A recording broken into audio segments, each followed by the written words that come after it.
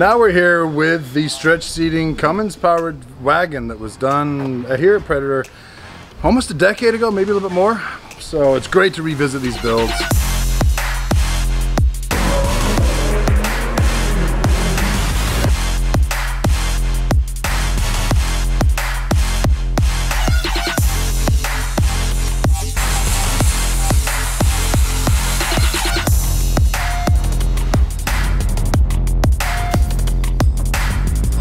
Welcome back to another vlog guys. Pleasure showing our world to you. We have a few updates today on an introduction to this truck behind me. It's gonna be a full pull, paint, interior, engine swap, uh, all the above. Then we're gonna get to that stretch seating, an update on that truck. 40, 50% of the prep work has been done for paint. Similar color, but with that texture element. Uh, it is a, a, ranch truck, very utilitarian finishment all wrapped up. So on this truck, it's gonna be going with a Lamborghini orange. So we'll show you some pretty neat wheels that the customer sent us that he wants to put on there that have accents of that orange, which you'll start to see throughout this build with color matched springs, color matched exterior, and a few elements on the suspension that's gonna go that same color. Standard Duramax, ARP head studs, main studs, PPE manifold, stage four transmission, which takes that transmission capacity of the Allison up through the roof. Uh, we've put our 700 horsepower assault motor through that stage four and handles it without flaw. Uh, our heavy duty cooling package, which you can see here going on the, the cooling stack, so the supplemental fan, that thin mount evaporator. We have our, our two coolers, fuel return and power steering, plus our, our radiator and intercooler. Uh, the radiator is something you can source on our website. Coming out this way, you'll see we have our fuel filter relocation off the factory Duramax. The original Duramax mounts uh, out here, hangs in that passenger wheel well of the regular HD truck been relocated to the factory H1 location. That little white thingy majigger yeah. thing right there, right? That yellow lead coming out of it is the water and, and fuel separator wire. That gets done on the body side. I remember when I was doing conversions years ago, I was on the frame. Uh, every now and then I'd do the body side of it, but the guy on this side has to do a ton of work.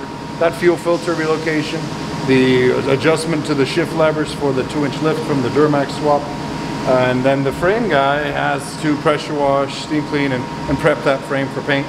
Uh, while the, the, other guy gets the other parts together, the motor mounts and everything else, to start hanging this, this motor in the hole. So, this thing, it just got started, what, two, three days ago? Yeah. And the, uh, the six five, the takeaway yeah, or whatever, right? I, I, get the hand in there, so people know they got to see what I'm pointing to, you know. Or I just cover up your face, so that way they can't see you anymore. Scroll down, comment below, below if you want to hear more of Jason or see more of other people on this side of the, the camera. Uh, uh, but yes, sir, we started this on Monday. Um, the guys work after hours, so they're not dealing with deliveries and, and daily scheduling. Uh, it doesn't affect the ongoing workload that we have on all the trucks because we have quite a stacked schedule. So they do it after hours, be throughout this week. Uh, eventually we're gonna get this body down. I'll perform all the break-in miles before we strip it and send it to paint. I wanna show you something else. Right. Um, it's got our stage four transmission, which is not typical, but definitely a strong recommendation for that one. And then our mounts for the rear fan sits right here. That's where we the transmission cooler? Exactly, yes sir. That's why these, these lines are looped right now.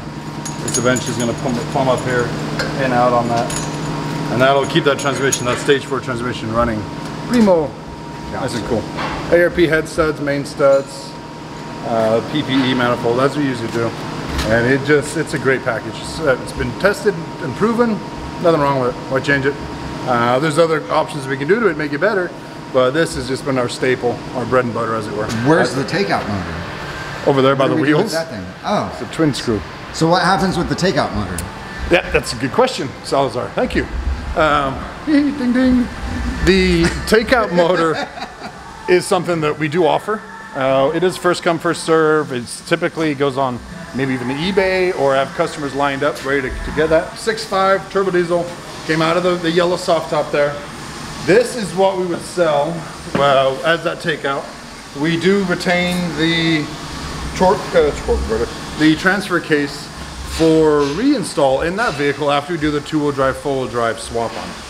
So these are a great motor. Um, Humvee, you want to upgrade your Humvee, get the 6.5 in there. You Got to do some playing around with the injection pump and everything else to get that computer out of the way. But on the other side of it, you can also add it on any other platform. For a long time, we had a customer uh, who would come down and he bought maybe six of these for different FJ projects. Really cool. I like that old school platform. But anyway, again, just let us know if you're looking for something. Get your name on a list, and uh, maybe we can, uh, get you one of these for your whatever build you have going. Yeah, because these things go really quick. Because I don't ever just see Not them quick sitting as in around. fast, but no, yeah, they sell quick. That's yeah. Okay. Yes. Yes, they do. They do move quick. They sell quick. Yes, they sell quick because I never see these just sitting here in stock. So we try and sell these fast as we can. We get them a cut rate cost, something that we can get your project up to speed with a new power plant. I want to show you those wheels. Forgiatos. Uh, great wheel, the 24, I believe. So this is going to be the color the vehicle is getting into. Uh, Lamborghini base color, I believe, like they're burnt orange, but So the paint's gonna match. paint is going to match that. Yes, sir. Oh wow. Strong- That's actually a really really sick orange. Yeah, you know, initially I was kind of taken by it, didn't know where, what to think. Since then, we've done the copper truck and we've seen how that's accessorized. That was a very strong color, but all those black accents really set it off. I imagine the same thing's gonna happen with this. It's gonna be strong in itself, but a new black soft top on there, start getting some brush guards, bumpers, uh, all the works. It's really gonna, this, the color's gonna pop to me and I Yeah. truck.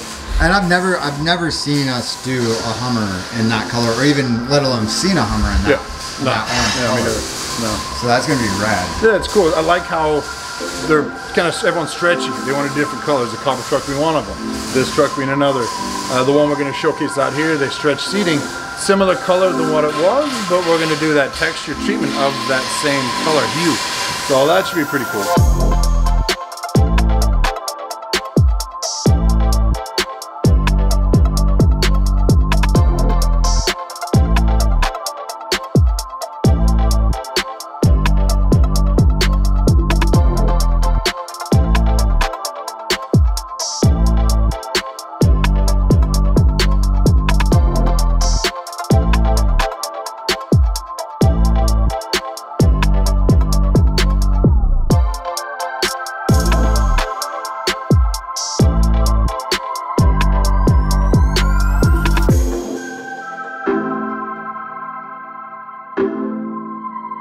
We're here with the stretch seating Cummins powered wagon that was done here at Predator almost a decade ago, maybe a little bit more.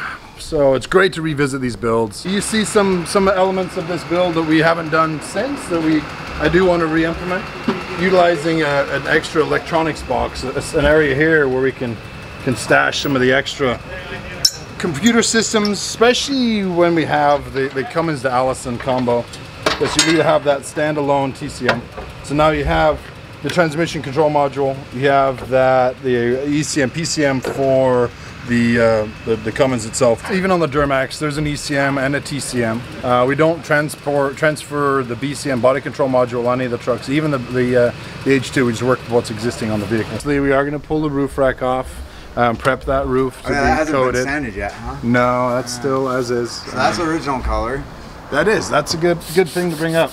We got the original color there, which is kind of like a, a green in there somewhere. That's going to be texture coat. I don't know if they call it the woodland green. I think it's a little bit lighter. Yeah, I have to figure out the color code of that one. It's slightly hmm. different. A great color, nice and light. It's going to be a ranch vehicle, so it needs to be robust. That's why we're doing that texture finish. It's going to be a remarkable vehicle. We're going to have some armament additions to this because it is a hunting rig out of a ranch. The magic behind a good paint job, as I think Wilson's mentioned a few times, is the prep. That's 90, 80, 90% of the work is the prep. Anyone can spray color on it, but it's how you prep that surface to be able to accept that paint is really what's going to give you longevity and everything else. But this does show you full seal replacement. That's always going to be changed out.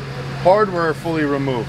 You know, we're going to get it to where it should not see this original color anywhere on the vehicle. Everything's stripped off this truck so you can reset it. These are going to be pulled off. You know, they're still mounted in there. Usually we're going to hang hang with one screw. The roof rack's left on there, trying for convenience. When we go to paint, we'll just yank that, buff that roof, and then go ahead and spray it all in one. You'll see the one modification we had to do for the seat notch. That's where the original fuel fill is. Now we've got the, uh, the old glory holder. One thing I see now, which I've never noticed before. Judo. Yes. You got a second? Is that a custom tank? I never noticed it before. Obviously, the fuel fill has been changed because of it's extended. the factory center plate and everything. Yeah. Maybe it's not a full tank, but a smaller one. I've never seen it at all in any part, any vehicles have done. So that's unique, you know. Uh, I've never seen a tank like that. The original tank is 17 gallon. That might be 12 gallon. Yeah, yeah. You look at the the Alpha, the 2006, which is a nice one. I have installed a good few of these in the um, post-converted trucks because we go up two inches. So it allows us to put the bigger uh, rear tank in there and bigger main tank even, getting a few more, more gallons. But you see the profile, dramatically different how that's done. Walking further down the side here, you'll see we have our seat boxes for the custom seat mount with that seat notch. Everything's moved, been moved down, plus shortened slightly because the customer uh, requested a bit more headroom in here. And then we're gonna wrap up the rest of the interior, might change the dash, uh, enhance that a little bit. Possibly even that Alpha Dash you've seen so much popularity lately. Change is good, do something new, uh, refresh this thing, it's gonna be a whole new truck when it's done.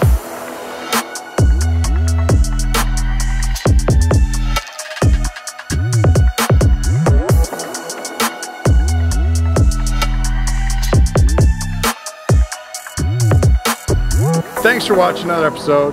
Kind of a random one today, kind of bounce around, but I hope you did enjoy some of what we're sharing, upcoming builds, stuff we're in the middle of, updates again, all, in, all importantly on that uh, stretch seating, Cummins powered.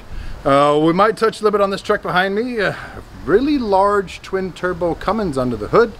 And we got some, you know, magic to be coming soon on that particular build. It's been with us a couple years ago and is back again, just showed up today. So again, thanks for watching. Stay tuned, subscribe, notification button per Salazar's request, and uh, look forward to showing you next episode coming up shortly.